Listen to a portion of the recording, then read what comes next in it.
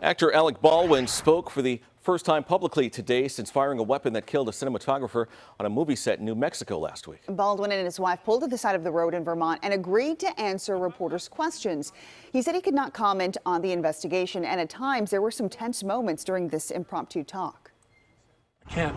It's an active investigation in terms of a woman dying. She was my friend. She was my friend.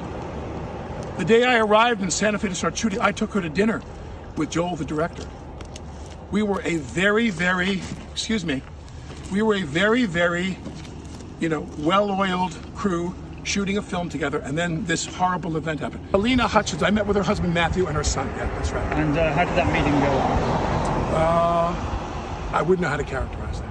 They're, be- they're, they're, they're You- mortified. you guys- they'll you so- guys- you know what? You- No details. But, but do, do me a favor. I'm gonna I'm gonna answer the question.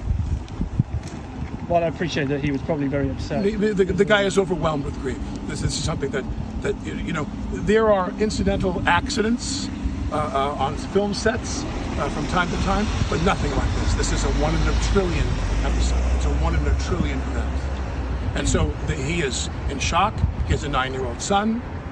You know, we are, you know, in constant contact with him because we're very worried about his family and his, his kid. And uh, I said, we're, we're, we're eagerly awaiting for the sheriff's department to tell us what their investigation has yielded.